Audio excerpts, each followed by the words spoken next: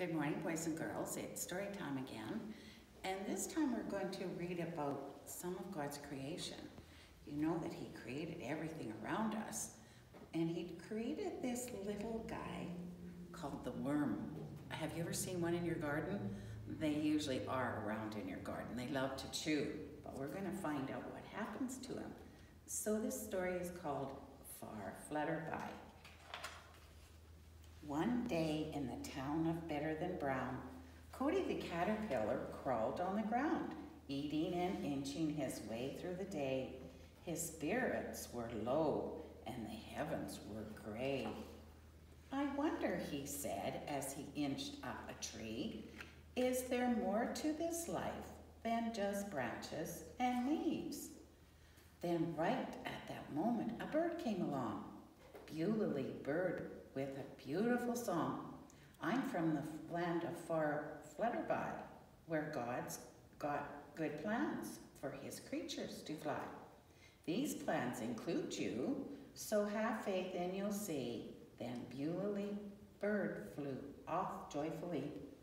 Cody the caterpillar called as she left, Come back here and tell me. Please don't make me guess.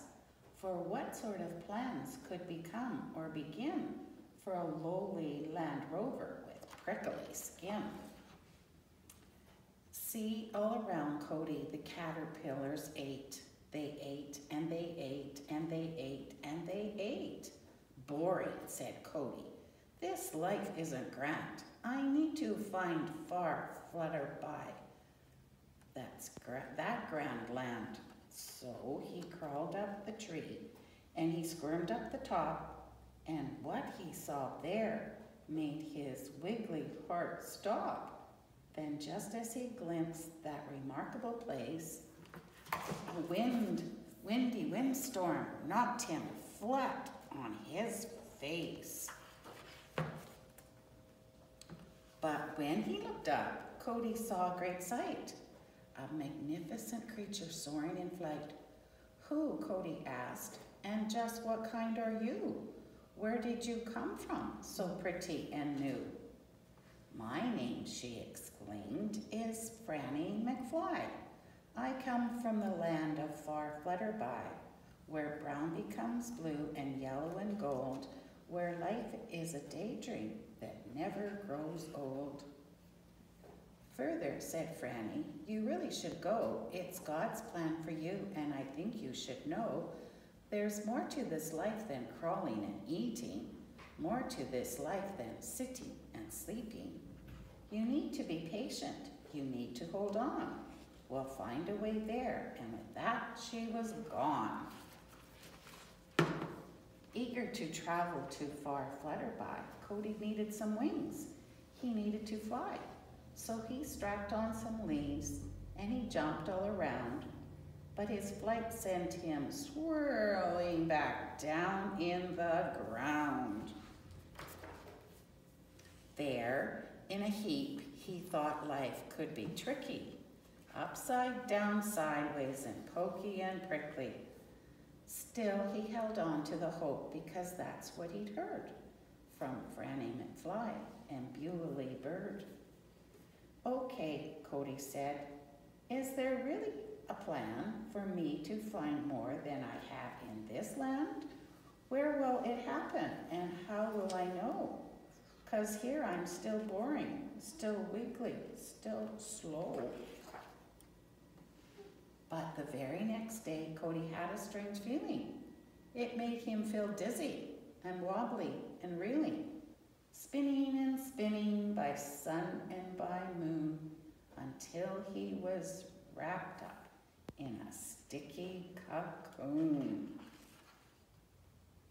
He hung upside down in the shade of a leaf, and that's where he stayed for nearly three weeks. All hope was lost, and he was downer than down, stuck there forever and better than brown, until one sunny day he awoke with a start, and something shot straight through his wiggly heart. I can't give up hope. I have to believe, Cody shouted and shook from his head to his knees. Then he wiggled and squiggled and jiggled about, jiggling and wriggling from all the way out. He was so very stuck. He was sweaty and sore, for nothing had ever been this hard before. But that's when poor Cody remembered the words of Fanny McFly and Bewley Bird. God's plans are good, so have faith, and you'll see. Then he struggled and struggled and finally broke free. Now something was different. The heavens were blue, and Cody's old body was bustling brand new. He stretched and he flexed and he shook out the crickles. He felt so much lighter without all the wrinkles. He looked around behind him, and there of all things were beautiful, bountiful, wondrous wings. He changed a lot, didn't he? Isn't he beautiful? Cody fluttered his wings and he flew off the ground. And his flight took him high above, better than brown. His struggle had placed him in far Flutterby, and Cody was now a bright new butterfly. With colors of blue and yellow and gold, Cody's wonderful life now would never grow old. For these were God's plans, just as good as the word of Fanny McFly and Bewley Bird.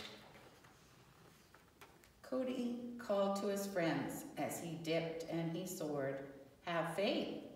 Through the hard times, believe in more. For there is the journey and step is the sting. The struggle, the struggle is what gives you wings. That's the story of what God does to the little butter, to the caterpillar and changes into a butterfly. Thanks for listening. See you next time.